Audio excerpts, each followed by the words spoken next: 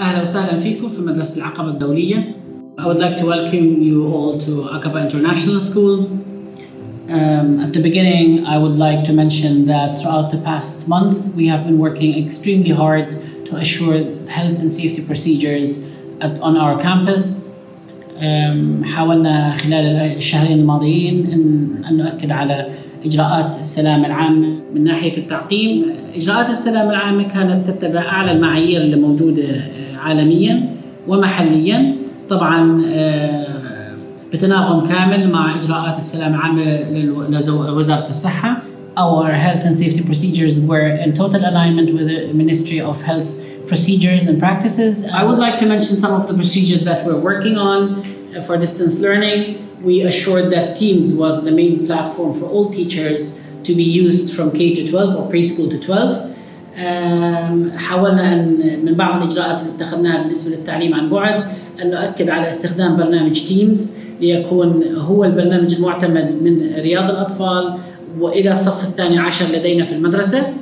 Um, at the same time, we also decided that Teams is only a platform, it's not actually the whole concept of distance learning. بنفس الوقت Teams هو فقط منصة تستخدم من أجل التعليم عن بعد وليس هو التعليم عن بعد. فلقد تم إعداد مناهج موازية للمناهج الحالية الموجودة لدينا. وقام المدرسين بإعادة تصميم المناهج لتتوائم مع التعليم عن بعد وكان لها آلية معينة. لن ندخل في تفاصيلها الآن لكن كانت هدفها إلى نقل أو التأكيد على نقل المهارات الأساسية للطلاب بالرغم من أن الوقت من خلال التعليم عن بعد سيكون مختلفا. Um, we, we were aiming at making sure that all the skills essential were still transferred to our students even though that the curriculum for online learning or distance learning is slightly different from face-to-face -face learning. And our teachers worked extremely hard to, to create those uh, modified curriculums.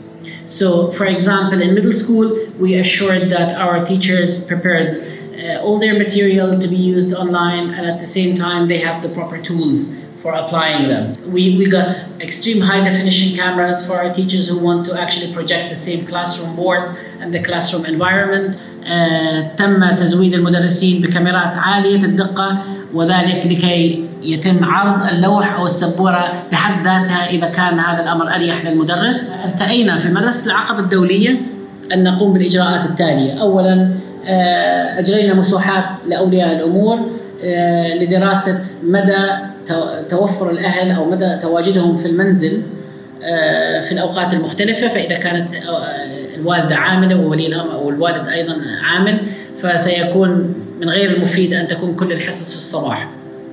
We did a survey and we checked if our parents are actually working or uh, if both of our parents are working because if, if that's the case then it's useless for us to make all our live sessions in the morning as KG students and lower elementary students will not be capable of uh, opening the system on their own. That's why we did the survey and the result of the survey led towards that most of the classes will have in the evenings نتيجة المساح المسوحات التي أجريناها أدت إلى أن أننا جعلنا أغلب الحصص ال KGs وال lower elementary في المساء. سيتم تزويد كل ولي أمر بملزمات أو بالمحتوى التعليمي الكامل بحيث يبتعد ولي الأمر عن حاجته لطباعة أوراق العمل. ستكون كلها جاهزة في ملفات. ستذهب إلى سيتم إرسالها إلى المنزل مع الأطفال لمدة أسبوعين. وبعد أسبوعين ممكن لولي الأمر لا سمح الله إذا استمر الإجراءات الحالية ممكن ولي الأمر المرور على المدرسة تسليم الملف القديم وأخذ ملف جديد للأسبوعين القادمات.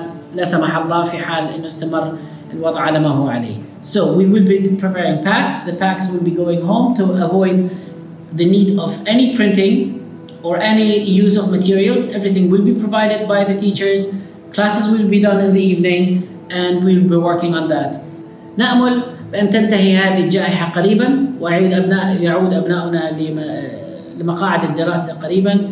We hope that this pandemic will end soon or the procedures will end soon and that our dear students will be coming back to school. Uh, الله يحمي البلد الله يحمي الأردن Thank you.